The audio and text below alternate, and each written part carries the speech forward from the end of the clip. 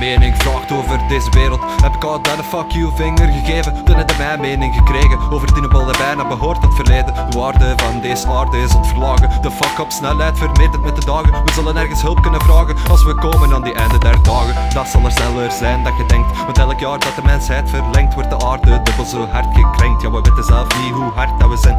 Oorlog maken, steden opblazen Misbruik van wapens, bommen op de straten En elkaar altijd schuldigen maken. Zo zullen we sneller om tijd te geraken Met een probleem op deze wereld. We zijn met te veel mensen en deze mensen zijn te verwensen.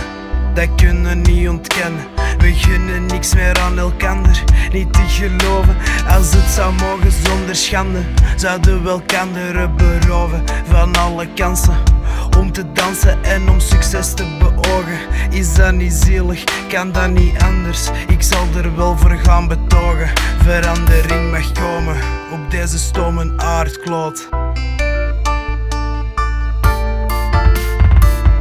dat, mijn geld zit erop Twee dagen later terug geen klop. Rekening betaald, een huur eraf. Geen geld verreten, geen geld verpaf Ik heb beter geweten, dan ik me af Dat is nou de kloten, dat is nou toch straf. Ik blijf hier wel struggelen, al is het in mijn graf. En wilde gewoon maar muggelen, dan trap ik het wel af. Ik al geplukt, de wever en zijn vrienden. Ze zullen nou wel vinden dat geld verslinden. Werkte wat tegen, dan komen ze verblinden Met de flappen in hun zakken, die wijzen zwaar beminden. Waarom laten we die shit allemaal toe? Zijn we allemaal schapen of wordt het nooit niet moe? Erg goed geslapen, ik niet, dus fuck you. Ik lig al nachten wakker, doe geen oog toe. wat is onze evolutie? Daar start de discussie, de ruzie die ik steeds terugzie. Die ontstaat uit jaloezie, discriminatie en haat tussen verschillende samenlevingen in elke stad.